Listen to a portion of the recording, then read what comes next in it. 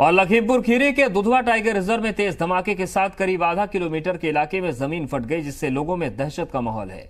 घटना तीन अगस्त की बताई जा रही है, जब रात के वक्त धमाके के साथ टाइगर रिज़र्व के पास बजाही में ज़मीन फट गई। जंगल की तलहटी में बसे थारू जनजाति के लोग इस धमाके से सहम गए। हालाँकि रात में डर की वजह से ये लोग घरों से नहीं निकले, जब उन्होंने सुबह उठकर जंगल में जाकर देखा तो वह हैरान रह गए। ज़मीन में कई फीट दरार थी, ये लोग इसे देवी का प्रकोप बता रहे हैं।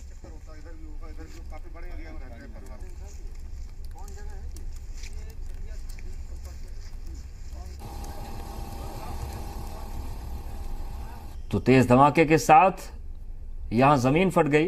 दुधवा नेशनल पार्क का वन रेंज जो दुधवा रेंज है, उसमें तेज आवाज़ के साथ बिजली गिरने की घटना अभी हुई है, जिससे लिप्टिस के जंगल में धरती के फटने की सूचना ग्रामीणों द्वारा आ रही है।